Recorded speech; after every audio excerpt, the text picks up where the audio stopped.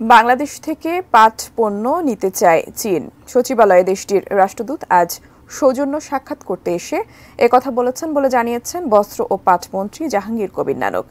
চীন পাটের তৈরি কোন কোন পণ্য নিতে আগ্রহী সেটি আলাপ আলোচনার পর ঠিক করা হবে বলে জানান তিনি। আমরা পাট পণ্যের ব্যাপারে আগ্রহ প্রকাশ করেছি। কথা বলছি। জুট প্রোডাক্টের কথা বলেছি।